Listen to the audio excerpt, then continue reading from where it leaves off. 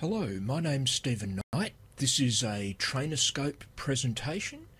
The topic of this presentation is doing basic formulas in a LiveCycle form. This is a topic that's come up a little bit recently. I've had some people ask about it. So let's have a look at what's involved. It's actually not too hard. If you can do calculations in Excel, you'll handle this without too much trouble. So, what we need to do first up is just set up our, our document so that we can actually see the things we need to see. So I'm heading up to the window menu and in the window menu we need to open three things. So I'm going to open the hierarchy panel, which is window hierarchy. I'm going to op open, open the ob object pa panel, which is window object.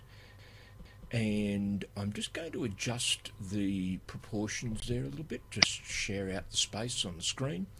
And then I'm going to go to the window menu again and open the script editor. So they're the three things that, that I need. Uh, I'm just going to scroll down a little bit in my form and then we're ready to go. Okay, so step number one is in the hierarchy, I'm going to select my subform. Now, step number two is in the script editor, I'm going to choose the calculate event. So this is the calculate event which when a field mentioned in a formula changes, the calculate event will occur and it'll recalculate for us. So I'm going to choose calculate there and I'm able to click, you'll notice, in the script editor area. Now, I need to select the fields involved in the formula. So my first step here is holding down the control key I'm going to click on the line total and you'll notice it puts in the name of the field. Now I'll show you where that actually comes from when we've built our first formula.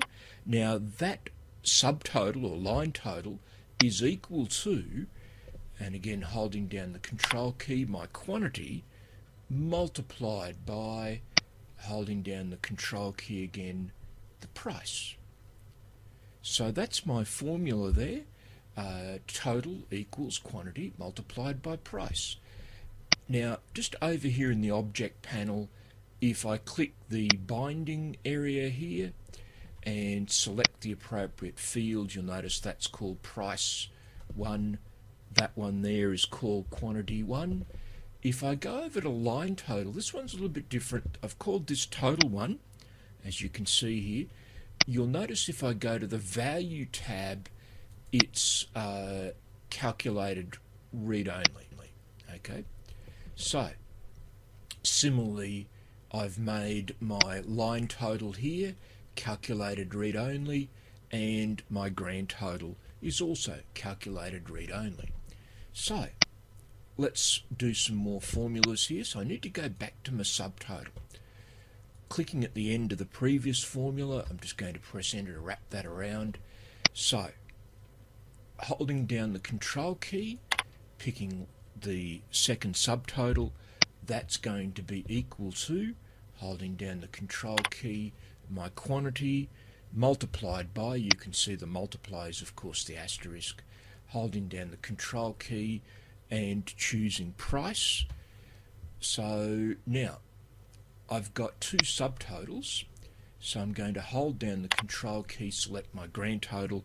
The grand total is equal to one of the subtotals, again holding down the control key, plus the other subtotal.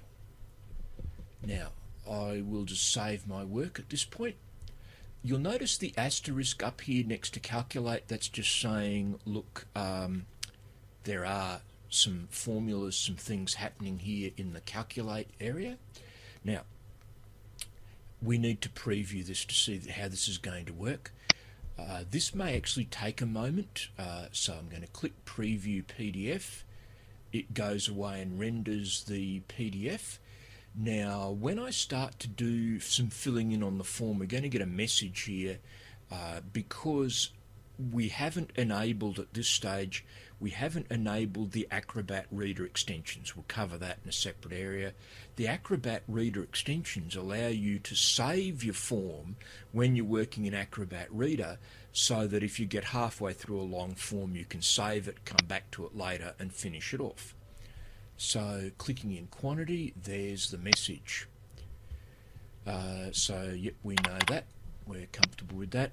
So, I'm going to order 10 of something at $100 each.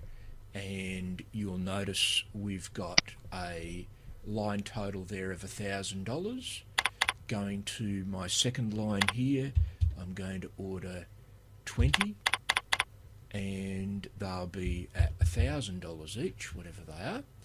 And you'll notice that it's been triggering the calculate event as we've been changing these values and we can see that we've got our grand totals calculated. You'll also notice I've been a bit slack. In the grand total, I'm not showing this formatted as currency. That's something we'll fix that in the next lesson.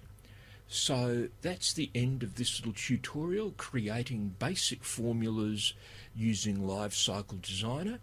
And thank you for your attention. Please feel free to contact me with any questions.